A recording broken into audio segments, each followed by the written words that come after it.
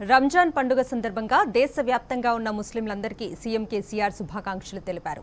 హైదరాబాద్లో హోంమంత్రి మహమ్మద్ అలీ నివాసంలో జరిగిన ఈదుల్ ఫితర్ వేడుకల్లో ముఖ్యమంత్రి పాల్గొన్నారు. ఈ సందర్భంగా సీఎం కేసీఆర్ను మహమ్మద్ అలీ కుటుంబ సభ్యులు శాలువాతో సత్కరించారు. పుష్పగుచ్చం అందించి ఘన స్వాగతం పలికారు. అనంతరం సాంప్రదాయ పద్ధతిలో వారు ఏర్పాటు చేసిన ఆతిథ్యాన్ని సీఎం కేసీఆర్ స్వీకరించారు. అనంతరం అక్కడికి విచ్చేసిన ముస్లిం మత పెద్దలు బీఆర్ఎస్ శ్రేణులను ముఖ్యమంత్రి ఆత్మీయంగా పలకరించారు. ఈ వేడుకల్లో మంత్రులు మహమ్మద్ అలీ కొప్పుల ఈశ్వర్ ప్రశాంత్ రెడ్డి సత్యవతి రాథోడ్ పువ్వాడ అజయ్ కుమార్ పలువురు ఎంపీలు ఎమ్మెల్సీలు ఎమ్మెల్యేలు ఇతర ముఖ్య నేతలు పాల్గొన్నారు.